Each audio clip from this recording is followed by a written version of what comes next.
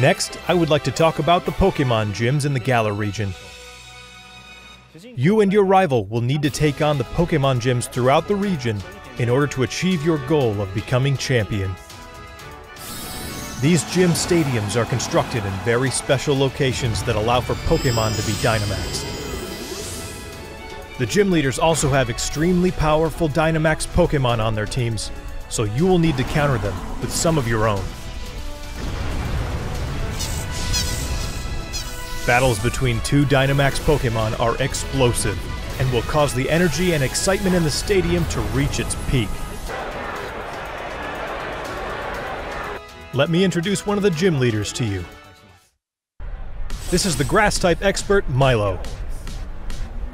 This gym leader is all about enjoying battles alongside his trustworthy Pokemon, and you will have to overcome his tenacious fighting style to continue your journey. Look forward to facing many more heated battles against gym leaders over the course of your adventure.